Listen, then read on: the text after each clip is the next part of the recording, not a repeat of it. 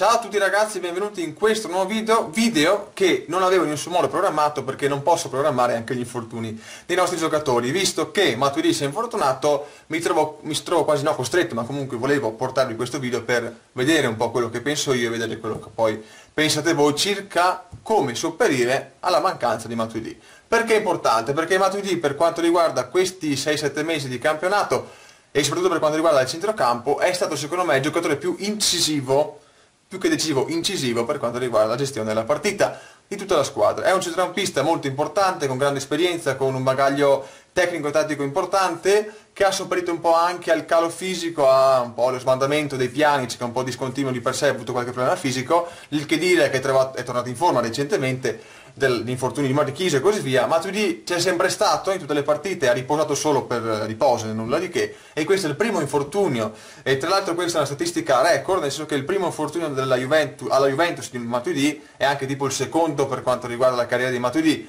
con il PSG è stato infortunato in pari una volta per un taglio, quindi neanche per infortuni muscolari.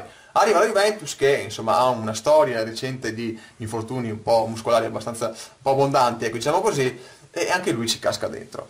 E la tempistica con quale arriva questo infortunio è veramente cioè, un po' disastrosa, nel senso che comunque abbiamo delle partite importanti.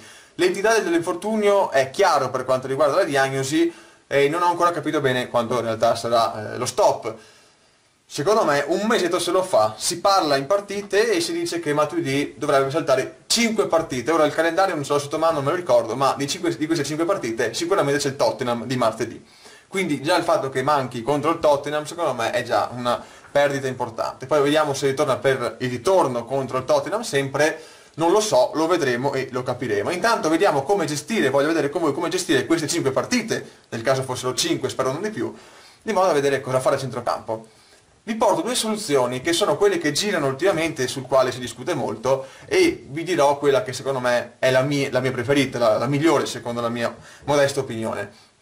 Allora, umile opinione forse devo dire, ma comunque non importa. Detto questo, due soluzioni. Una è mantenere il modulo, sostituendo Matuidi con un altro giocatore che vedremo, e una è cambiare, tornare al 4-2-3-1 per non mettere quel tipo di giocatore del 4-3-3 che poi vi dirò e tornare a una situazione in cui il centrocampo è quello che è, però chiaramente si ritorna a un vecchio modulo che sembrava messo un po' da parte dopo questo 4-3-3 che ultimamente dà veramente molte garanzie. Chiaramente Allegri è uno che cambia molto e cambia anche in modo eh, interessante a seconda dei giocatori che ha, a seconda del periodo, della forma e così via. Questo 4-3-3 col centrocampista in più dava equilibrio anche nel momento in cui magari sei un po' sottotono, hai comunque un centrocampo a 3 che dà solidità e sicurezza dietro ed è stato un po' quello che è successo eh, dello stesso Benatia della difesa che ha subito in 14-15 presenze un gol solo, e ne ha fatti altrettanti, 7-0 recente credo che sia proprio l'apice, il massimo. E da questo parliamo in modo più analitico circa le due alternative. La prima alternativa è di mantenere il 4-3-3, che poi sia 4-3 fantasia, 4-2-1, dipende da chi c'è, mantenere questo sostituendo questo Matuidi. Come sostituire Matuidi? Molti dicono Marchisio, io non sono d'accordo. Marchisio Mezzala secondo me è messo nel cassetto per l'età, perché comunque il rendimento di Marchisio è un po' calato e anche la sua prestanza fisica. Marchisio può subentrare nel momento in cui, come ha fatto contro Sassuolo, lo metti in cabina di regia, avendo quasi un doppio regista, ma piani ce lo sposti un po' come Mezzala. In questo caso Marchisio andrebbe dietro, ma in questo caso non puoi fare questo discorso qua perché secondo me togli Matuidi dovresti mettere un giocatore, un cagnaccio diciamo così, e qua forse avete già capito di chi parlo, un cagnaccio che vada un po' a dare fisicità e anche marcatura al centrocampo, cosa che con Marchisio sia un po' meno, Pianice sicuramente ancora meno. Eh, ecco qui che subentra quale, eh, quale cosa? Subentra Sturaro.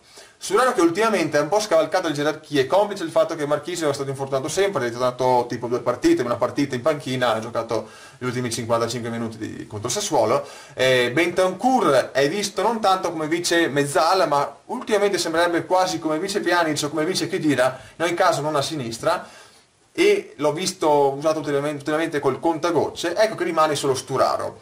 Sturaro che molti staranno un po' sorgendo al naso perché chiaramente Sturaro sappiamo quali sono i limiti, sappiamo qual è il suo ruolo di gregario e qui andrebbe veramente a diventare titolare al posto di un titolare infortunato, ma titolare una partita importante contro, contro la Fiorentina a Firenze, che secondo me è difficile di per sé, e ovviamente contro il Tottenham. Non so se verrà poi utilizzato contro il Tottenham, magari contro la Fiorentina sì, ma contro il Tottenham vediamo.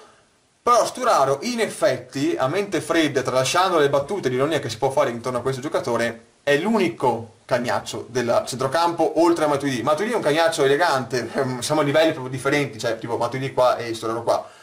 Sta di fatto che quello che si avvicina di più per quell'interpretazione fisica, di marca di, di proprio di stare dietro sulle caviglie ai giocatori, Sturaro è quello che si avvicina di più.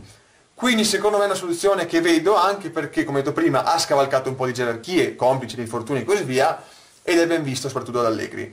Da mezzala fa bene Sturaro, eh, i suoi limiti tecnici si vedono sempre, ma un po' meno da mezzala, perché da mezzala ha fatto le partite migliori della sua carriera da Juventus e quindi chiaramente mi pare anche giusto in quel caso di confermarlo, solo in questo caso e non da esterno come nel 4-3-1 che lì veramente metteva in evidenza tutti i suoi limiti. Ecco quindi la soluzione principale è ok, teniamo un modulo che ci ha permesso di arrivare fin qui in modo soddisfacente nelle ultime 10-15 partite, teniamo questo modulo, mettiamo anche uno Sturaro che magari non è il migliore giocatori, però diamo un po' di equilibrio, di eh, equilibrio anche mentale a questa squadra rodata in questo modo e ci mettiamo Sturaro. La seconda alternativa è il 4-3-1, cioè torna una cosa precedente che non dava più tutte le certezze del caso, perché? Perché Manzukic non è in formissima come lo scorso anno e Manzukic in quel modo, cioè Manzukic era il modulo quel modulo con Mandzukic in forma aveva senso, senza Mandzukic in forma non ha tanto senso perché poi che dei piani se c'è il problema del filtro del centrocampo che non sempre dà queste garanzie. Scorso anno ha funzionato perché tutti funzionavano molto bene, quest'anno è molto diverso. C'è da dire infatti che col 4-3-1 il giocatore meglio da mettere dietro la punta di Guain è Dybala. Dybala che tornerà da un infortunio, non credo per il Tottenham, quindi è un problema comunque che ci portiamo avanti e comunque dovessi tornare avresti anche un giocatore non al top perché è appena tornato l'infortunio con un Manzo che ancora di diventare un po' con le gambe eh, che girano bene diciamo che il 4-3-1 secondo me è la soluzione peggiore e preferisco di gran lunga metterci uno Sturaro in quella posizione là e magari tanti diranno eh ma Sturaro è però preferisco Sturaro in quel caso, in quella situazione che passare a un 4-3-1 con poche certezze per quanto riguarda la condizione di giocatori chiave di quel modulo quindi ricapitolando come affronterà Allegri la cosa? Questo non lo sappiamo, lo vedremo.